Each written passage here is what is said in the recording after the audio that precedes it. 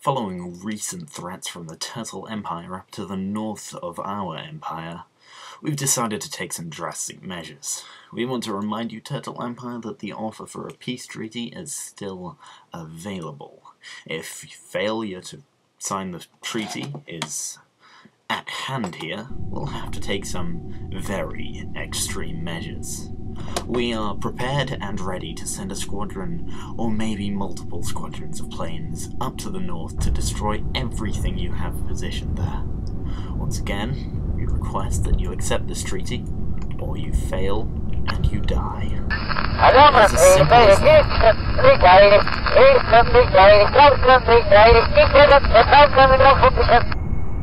Thank you for that. In the meantime, we shall continue surveilling your areas.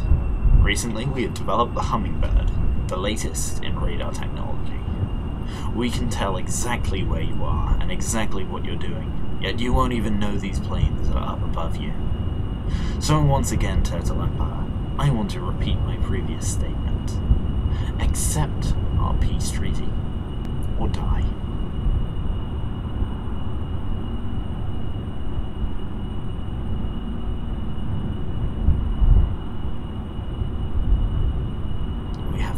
Pilots trained.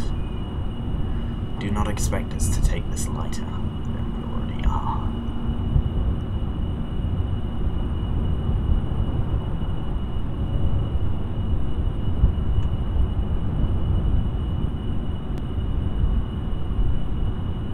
So yes, hello people. That is a very quick segue. Um, just a little bit of bad roleplay for those of you who are vaguely interested in what's going on. Um, basically, Jesus Christ, this piece of paper really wants to fly around my room. Um, basically, the Turtle Empire and I have declared war on each other, and currently I'm taking part in a huge military arms race. This is my latest design. Um, it's probably going to be worked on in the future, although I do in do actually really like the plane how it is. It flies really well. Uh, this is actually the first iteration. I didn't... It, this is just straight off the bat. Built this, it flew, and I was... It blew my mind how well this thing worked for the first iteration. So, um... I thought I'd show off this thing. Uh, the intentions were that it would go high altitude, uh, using four of these turbojets, preferably around 10,000 meters, and survey areas around Turtle's uh, northern bases. Now, um, you may have seen in our previous video the showcase of our latest jet fighter, which is uh, the J-17. I think it's the J-17. Um, that we have got recently our hands on uh, something of great beauty in fact, two things of great beauty. We have a large destroyer, and we have an aircraft carrier.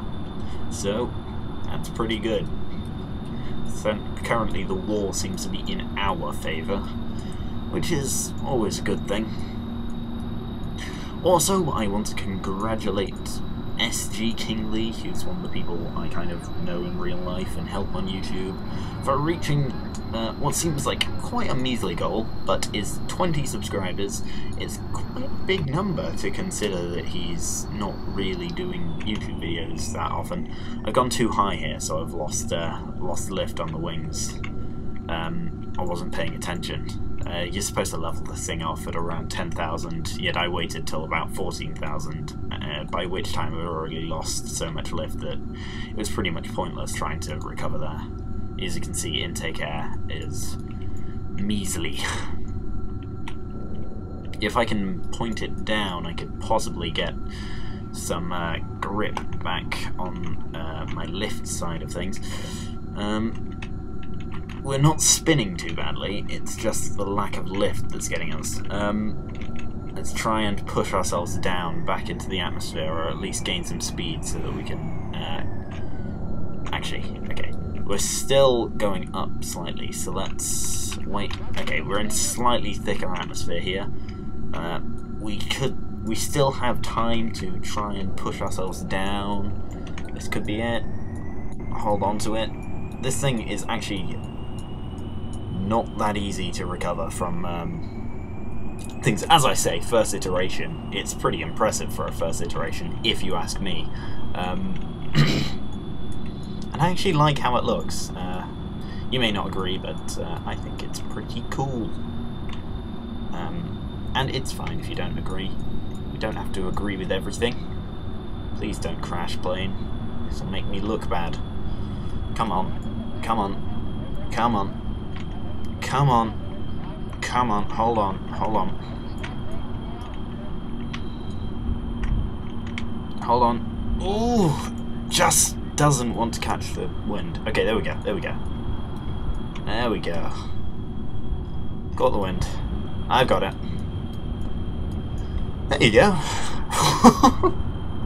that was a quick 10,000 uh, meter plummet towards our doom, which we have successfully recovered from. As you can see, uh, flying low altitude, and it's normally like this at high altitude, this plane doesn't fly that badly.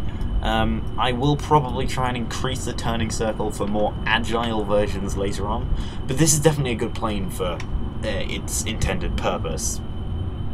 Uh, reaching for the Pringles there, get it, yeah. it was just like a natural reaction, just... Mm. Yeah, so thank you guys for watching. Please like, favorite, and subscribe. I'm probably going to end this video before it drags on too long, so I will see you all later. Also, remember you can still send in crafts to my email. Email is in a video in the past, which I might remember to link. Yeah, bye. I'm so bad.